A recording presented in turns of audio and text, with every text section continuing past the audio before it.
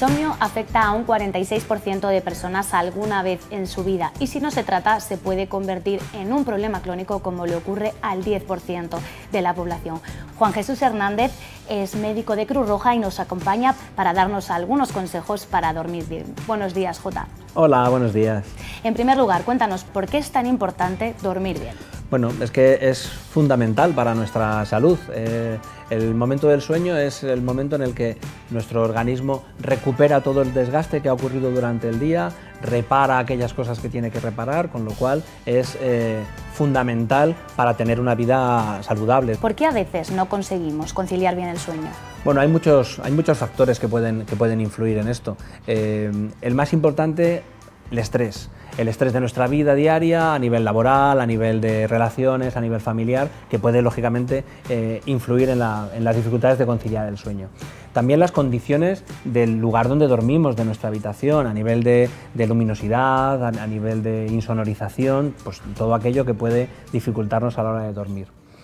La falta de rutinas, el cambio de horarios, eso también puede ser un factor que influye negativamente el consumo de tóxicos, el consumo de, alcohol, de tabaco y de otras drogas, que también puede ser eh, eh, un factor a tener en cuenta.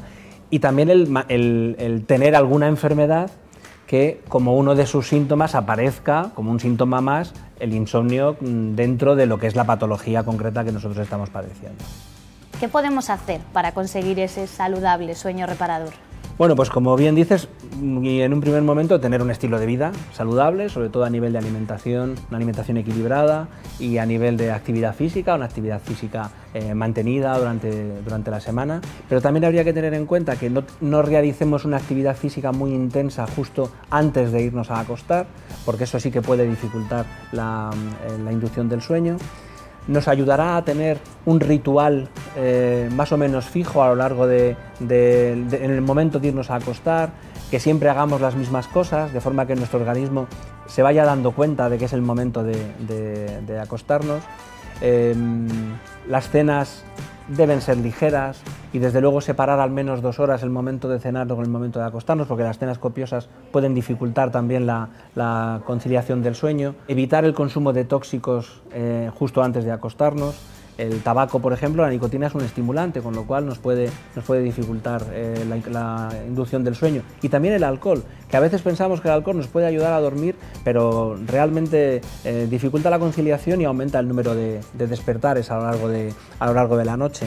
Y, y bueno, y quizá también aprender a relativizar los problemas. Eh, a veces en el momento de irnos a acostar nos ponemos a pensar en un montón de cosas y quizá no es el momento, no es el momento de solucionar problemas que no hemos podido solucionar durante el día. Vamos a dejarlos un poco de lado, que seguro, casi seguro que a la mañana siguiente los problemas van a seguir estando y nosotros estaremos en unas condiciones mejores para afrontarlos. Muchas gracias por tus consejos, Jota. Pues nada, muchas gracias a ti y felices sueños.